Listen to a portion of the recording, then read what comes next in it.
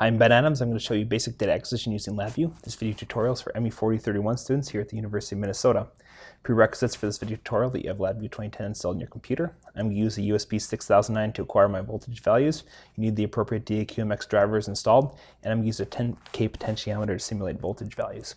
First of all, I'm going to show the difference between differential and single-ended measurements, then do a very simple data acquisition using LabVIEW, then introduce the waveform data type, which accumulates voltage values with time using loops and shift registers, eventually writing that data to file. The DAQ is capable of making both differential and single-ended measurements. Differential measurements are represented by the sticker on top, single-ended by the sticker on the bottom. You, you pick which one you want to make. Every voltage measurement is differential in nature. However, the negative terminal of what you're trying to measure is oftentimes connected to ground. So if you measure just the positive pin in reference to ground, you can get the same voltage and the values that you need. This allows you to use half the pins, which lets you use, make twice as many measurements with the same device. The potentiometer I'm going to use to simulate the voltage is just a variable resistor. The wiper pin on the middle varies in resistance with with the ground pin. So that voltage that's going to come out over here when it's connected between 0 and 5 volts is going to vary between 0 and 5 volts. I connected that to pin AI2 on the DAQ. Shown like this, the ground is on this side, plus 5 on this side, and the middle wiper pin I have connected up here to AI2, which is a single-ended measurement.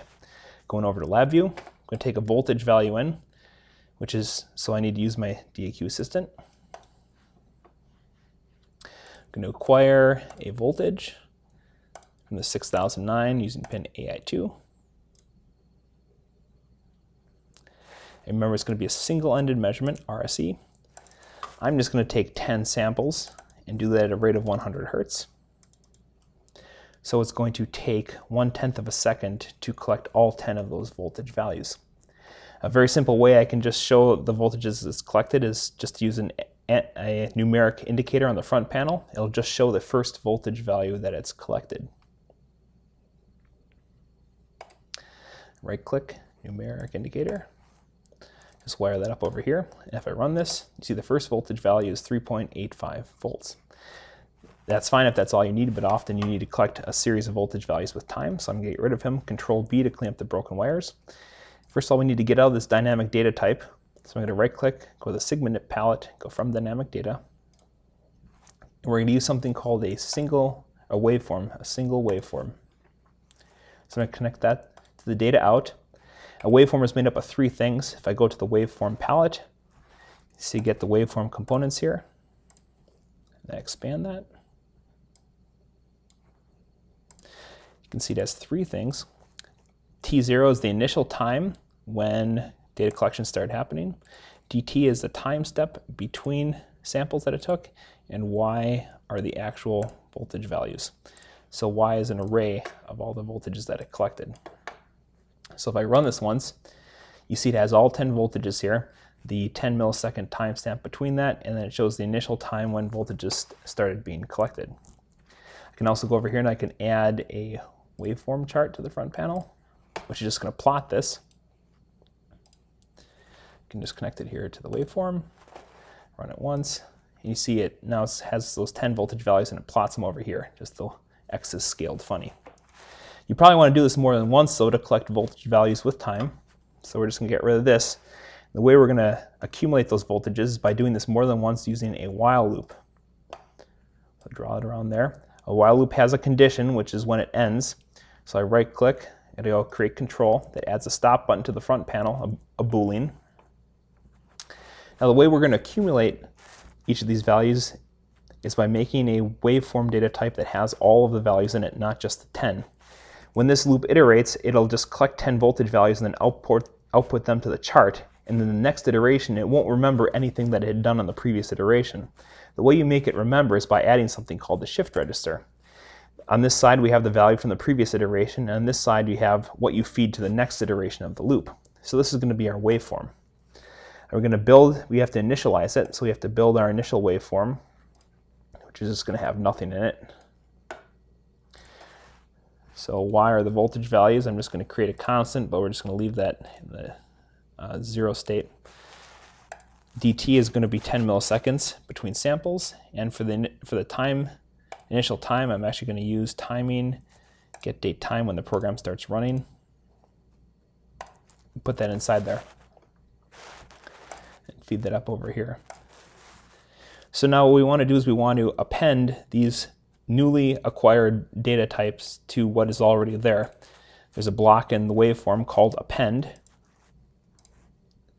This looks like him. If you look at context help, you see it appends B to the end of A.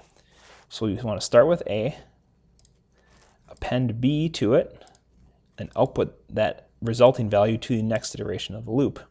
We don't want to display, display just those 10 values we collected anymore. Instead, we want to display the accumulated values. So I'm going to wire to there, do a control B to clean that up.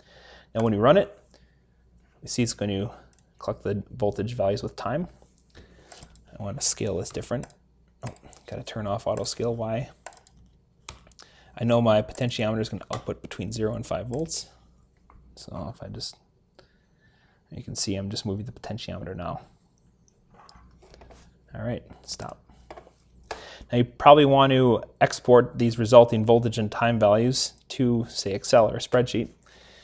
So you can use a block under waveform called waveform file IO export to spreadsheet. Wire that into the waveform. See context help tells you you can feed it the file name or it'll just ask you if there is none. And by default the delimiter is the tab. However, I want to make this a CSV file, so the delimiter needs to be a comma. When I run this again, it collects the voltage values, I push stop. Now it's going to ask me for file name, data, and it saves it. All right. Now you might just want this loop just to happen for a certain number of times. So say you want to collect five seconds worth of data. There's a block that tells you how much data you have collected under waveform called waveform duration. We hook that up to our waveform. It'll tell us. And the duration here is how long that it's been collecting data. So if we compare that value, see if to see if it's greater than or equal to, say, 5, it'll return a true. Or if the stop button is pushed, then we want the while loop to stop. So what the, Uh, that'll do now is it'll run, it'll take five seconds worth of data. When it's done taking data, it's going to stop the while loop and end up over here where it asks us for a file name to save that data to. Likewise, you can just save the data by just right-clicking on the plot and just going export data to Excel. Then it's just going to show you the same data that it uses to make that plot over there, the time and voltage data. It's just a different way to do it. All right, do a control U to clean up that block diagram. And one other thing, say you don't want the data to start collecting immediately, say you want to have time to uh, put some equipment on or something like that. There's several ways to do that. Uh, one way is to use a for loop which is what I'm going to do. I draw a for loop there. Say we want the for loop to loop five times, and each time it loops, I want it to take 1,000 milliseconds per iteration. I'm going to add to the front panel here some indicator, say a tank.